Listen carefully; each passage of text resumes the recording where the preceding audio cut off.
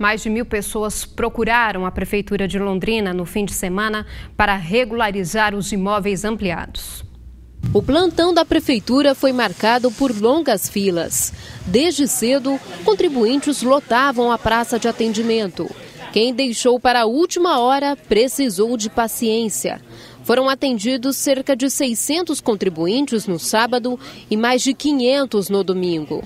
Quem regularizou os imóveis ampliados, os populares puxadinhos, ficou livre da multa, que será aplicada a partir de hoje, quando a Prefeitura começa a fiscalização das casas sem planta regularizada. A multa pode chegar até o dobro do valor de um IPTU. Segundo a Secretaria de Fazenda, existem cerca de 20 mil imóveis nessas condições na cidade. Segunda-feira a Prefeitura começa a fazer a fiscalização nos imóveis, né?